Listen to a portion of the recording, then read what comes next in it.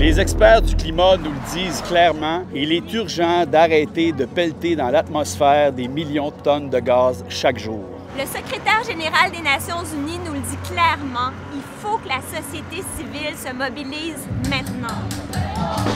Partout sur la planète. De plus en plus de citoyens s'activent pour relever le défi. Nous, ici au Québec, on a lancé le Pacte pour la transition. Le Pacte pour, la, transition. Nous croyons les scientifiques quand ils nous disent que non seulement il faut agir, Mais qu'il est aussi possible de faire les choses autrement.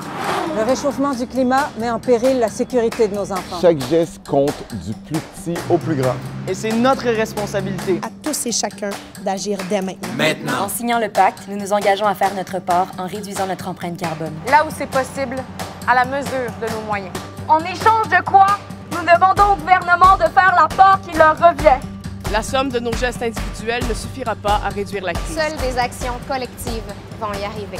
Les émissions de gaz à effet de serre par habitant sont deux fois plus élevées au Québec que la moyenne mondiale. On a du chemin à faire. On a du chemin à faire. Visiblement, nos gouvernements ne prennent pas la situation au sérieux. Nous voulons les obliger à prendre maintenant les mesures qui s'imposent. Plus on va être nombreux à signer, plus notre voix va porter et plus la pression va être forte sur nos gouvernements. Signons et faisons signer le pacte. Qu'on soit bientôt un million.